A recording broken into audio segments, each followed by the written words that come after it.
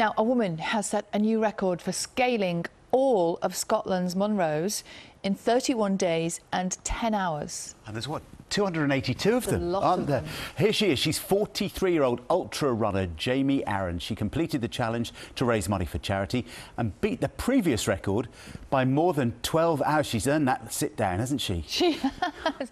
That, uh, that is a long way and a lot of climbing. She is. Um, uh, she's done an amazing, amazing thing. So, a Munro is anything over 3,000 feet. Extraordinary. Well done, Jamie. Well done. It's 12 minutes past six. We need to check in with uh, Carol to get the weather, find out if it's uh, climbing weather. Hopefully not for Jamie. She's having a day off, I hope. Good morning.